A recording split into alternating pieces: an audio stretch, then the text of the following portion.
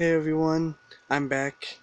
Um, I know I'm really late on this, but we got some more character designs for the Dragon Ball Super Broly movie.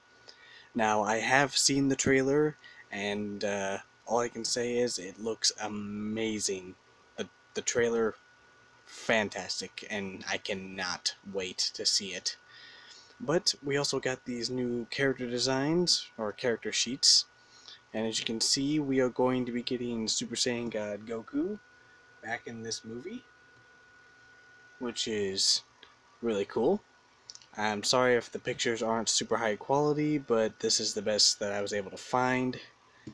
But yep, but we have two more. We have Goku, Broly, and Vegeta character sheets. So let's go ahead and go to the next one.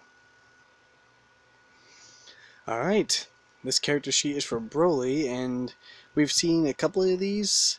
We've seen the one at the end and his base form, but now we get these three new ones. Him wearing the armor, him, I guess, more buffed up.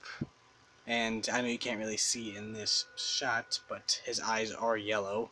And if you've seen the trailer and paused it a couple of times when he looks like this, his eyes are yellow. So I guess this is him a bit more buffed up.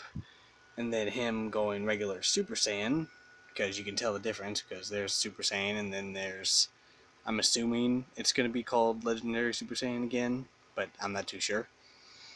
But yep, we got his, like, more buffed up form, Super Saiyan form, and this his new armor and stuff.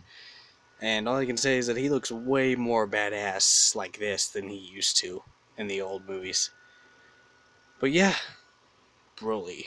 Now we got one more character sheet, and this one is really cool because we got something that has only appeared in the Dragon Ball Super manga. Let's check it out. And here it is, the character sheet for Vegeta. And as you can clearly see, we got Super Saiyan God Vegeta in the Dragon Ball Super Broly movie. Now, this would be the first time in anime form that we're going to be getting Super Saiyan God Vegeta. Now, this form has appeared, but only in the Dragon Ball Super version of the manga. Or the Dragon Ball Super manga version of the Goku Black Arc. That was when it first appeared, and we have not actually seen it in animation.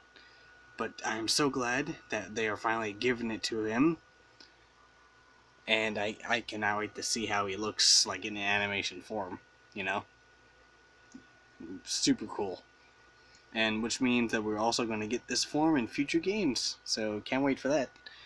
But as you can see, we got like, it looks pretty much like his Boo arc outfit in the front, but then we got like, you know, regular Vegeta, Super Saiyan Vegeta, Super Saiyan Blue, and his new like winter coat kind of thing. But yep, those are all the new designs, or all the new characters sheets for the Dragon Ball Super movie. Um, I hope you all enjoyed. I cannot wait for this movie to come out. And let me know if you're all excited to see Super Saiyan God Vegeta. But yeah, other than that, I will see you guys later, and yep, have a good one. Bye.